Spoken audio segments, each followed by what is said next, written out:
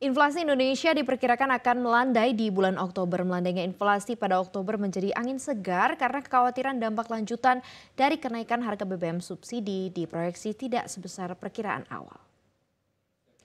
Konsensus pasar yang dihimpun CNBC Indonesia dari 12 institusi memperkirakan bahwa inflasi Oktober akan menembus 6,0 0,08 persen maksud kami dibandingkan bulan sebelumnya.